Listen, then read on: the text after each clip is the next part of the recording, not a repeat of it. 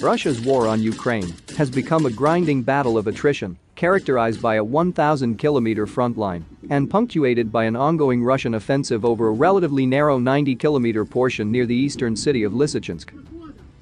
On Monday, Russian President Vladimir Putin declared victory in the eastern region of Luhansk, a day after Russian state media claimed the army had driven Ukrainian defenders out of the city of Lysychansk, the last bulwark of resistance in the province.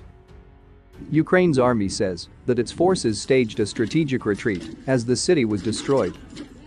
Nonetheless, the capture of Lysychansk represents a victory for Russia as it now controls all the territory in Luhansk Oblast, as well as half of neighboring Donetsk.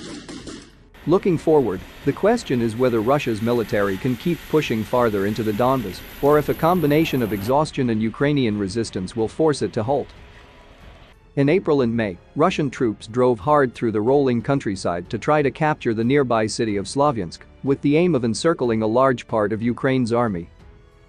But soldiers from the 93rd Mechanized Brigade stopped the Russian advance, and since then, Ukrainian forces have been slowly regaining lost territory. Ukraine has not revealed how many of its soldiers have been killed or wounded, but at the height of the battles in Donbas, officials claimed it was losing several hundred soldiers a day.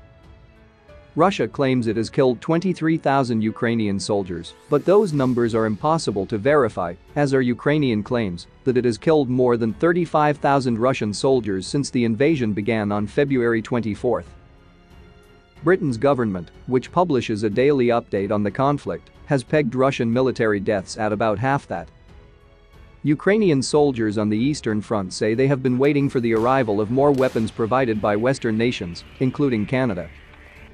Only then will Ukraine stand a realistic chance of recapturing lost cities such as Izium or those in the Donbas.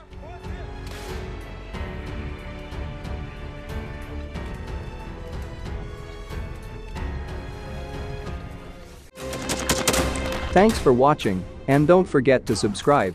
Also, if you want to support Warthog Defense, please become our member and get early access to new videos, exclusive members-only videos, and become administrator in comment section. The membership link is in the description. Every day. We had a guy last week, it's six rescues in six days. You know, he's doing the job every day.